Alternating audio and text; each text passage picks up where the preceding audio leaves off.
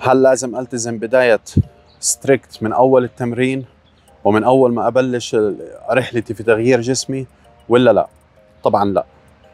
بالعكس أنا من الناس اللي بتنصح إنه بلش ابني عادة جديدة في التمرين وشوي شوي بلش خفف الأكل. مش متعود على هذا الروتين.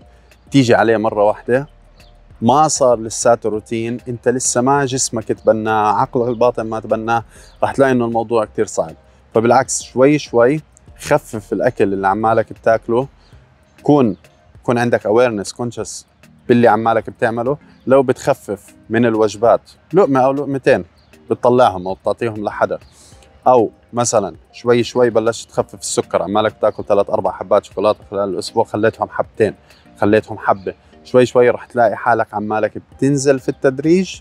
فما بصير في عندك الكريفنجز ما بصير في عندك إنه إنك تشتهي الأكل كثير فرح تلاقي حالك بعديها بتكمل بسهولة.